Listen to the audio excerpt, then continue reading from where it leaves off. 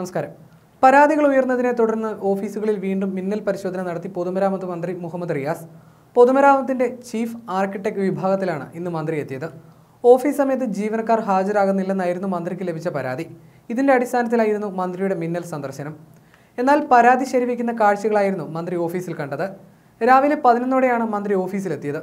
ഈ സമയം ജീവനക്കാരിൽ പകുതി പോലും ഓഫീസിലെത്തിയിരുന്നില്ല.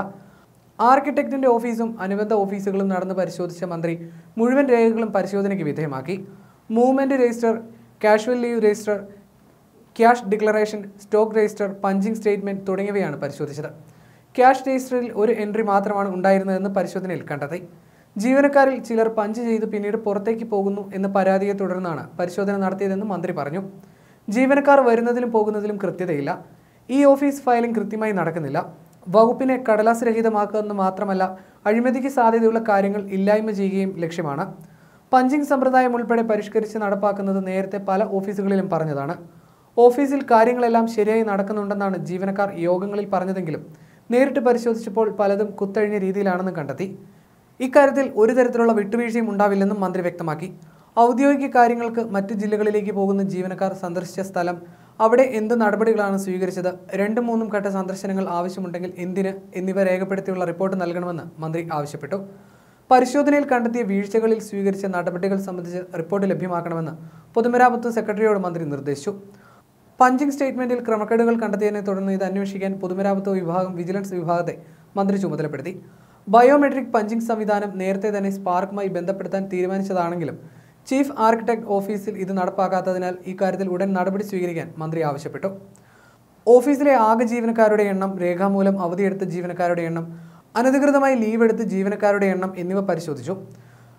പൊതുമരാമത്ത് വകുപ്പ് secretary K Biju I S chief എഞ്ചിനീയർമാർ എന്നിവരും മന്ത്രിക്കൊപ്പം ഉണ്ടായിരുന്നു അതേസമയം ഹിന്ദുത്വ വിമർശ കുറ്റത്തിന് കന്നഡ നടൻ ചേതൻ അഹിംസയെ അറസ്റ്റ് ചെയ്ത കർണാടക പോലീസ് നടപടിയിൽ പ്രതിഷേധിച്ച് പൊതുമരാമത്ത് മന്ത്രി പി എ മുതറ് പി എ മുഹമ്മദ് റിയാസ് കഴിഞ്ഞ ദിവസം രംഗത്തെത്തിയിരുന്നു. നടപടി പ്രതിഷേധാർഹമാണെന്ന് റിയാസ് ഫേസ്ബുക്കിൽ കുറിച്ചു. ഹിന്ദുത്വയും ഹിന്ദുമതവും രണ്ടാണ്. നിയമസഭാ തെരഞ്ഞെടുപ്പ് മുന്നിൽ കണ്ട് കർണാടകയിൽ ഭൂരിപക്ഷ വർഗീയത ആളിക്കത്തിച്ച് നേട്ടം കൊയ്യാമെന്നാണ് സംഘപരിവാർ കരുതുന്നത്. സർക്കാർ സംവിധാനം ഉപയോഗിച്ച് നാടിനെ വർഗീയകളമാക്കുന്ന സംഘപരിവാർ നീക്കങ്ങൾക്കെതിരെ പൊതുസമൂഹം ജാഗ്രത പാലിക്കണമെന്നും റിയാസ് കുറിച്ചു. ചേതനഹിംസയെ അറസ്റ്റ് ചെയ്ത കർണാടക പോലീസിന്റെ നടപടി പ്രതിഷേധാർഹമാണെന്നും ഹിന്ദുത്വയും ഹിന്ദുമതവുമായി കടലും കടലാടിയും തമ്മിലുള്ള വ്യത്യാസമുണ്ടെന്നും റിയാസ് കുറിച്ചു. ഹിന്ദുത്വ എന്നത് അക്രമോത്സുകതയിൽ ഊന്നിയ സംഘപരിവാറിന്റെ രാഷ്ട്രീയ പ്രത്യയശാസ്ത്ര പദ്ധതിയാണ്. മതത്തെ രാഷ്ട്രീയ അധികാരത്തിനുള്ള ഉപകരണമാക്കുന്ന ഹിന്ദുത്വയ്ക്ക് ഹിന്ദു മതവുമായോ ഹിന്ദുമത വിശ്വാസവുമായോ ഒരു ബന്ധവുമില്ല. ഹിന്ദുത്വയെയും സംഘപരിവാറിനെയും വിമർശിക്കുന്നത് ഏതർത്ഥത്തിലാണ് ഹിന്ദുമത വിമർശനമാവുന്നത്? ഹിന്ദുമതവും ഹിന്ദുത്വയും രണ്ടും ഒന്നാണെന്ന് സ്ഥാപിക്കാനാണ് സംഘപരിവാർ എന്നും ശ്രമിച്ചു പോരുന്നത്. അതിന്റെ തുടർച്ചയായി വേണം ഹിന്ദുത്വയെ വിമർശിച്ചതിന്റെ പേരിൽ ചേതൻ അഹിംസയെ അറസ്റ്റ് ചെയ്ത സംഭവത്തെ കാണാൻ നിയമസഭാ തെരഞ്ഞെടുപ്പ് പടിവാതിൽക്കൽ എത്തിയിരിക്കുന്ന കർണാടകയിൽ ഭൂരിപക്ഷ വർഗീയത ആളിക്കത്തിച്ച് നേട്ടം കൊയ്യാമെന്നാണ് സംഘപരിവാർ കരുതിയിരിക്കുന്നതെന്നും അദ്ദേഹം കുറിച്ചു.